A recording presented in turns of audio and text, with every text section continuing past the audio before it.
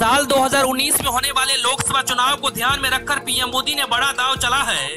जी हाँ, पंडित दीनदयाल उपाध्याय की जयंती पर पीएम मोदी ने सोमवार, यानी 25 सितंबर को सौभाग्य योजना लॉन्च की। इस योजना के तहत हर घर तक बिजली पहुँचाने का लक्ष्य रखा गया है। दावा किया गया है कि इस योजना से बड़ी संख्या में गरीबों को फ़ायदा मिलेगा।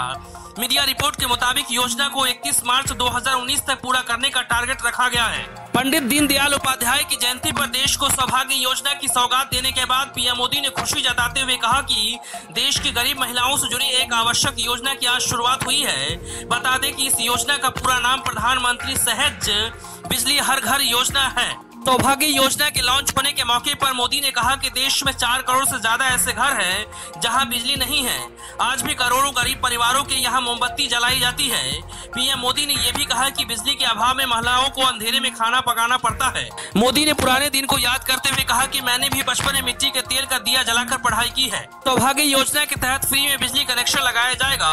इसके लिए पैसे की डिमांड नहीं की जाएगी। गरीब के घर जाकर सरकार बिजली कनेक्शन देगी। बताया जाता है की इस योजना पर सोलह हज़ार करोड़ से ज़्यादा खर्च आएगा। Bureau report news operation.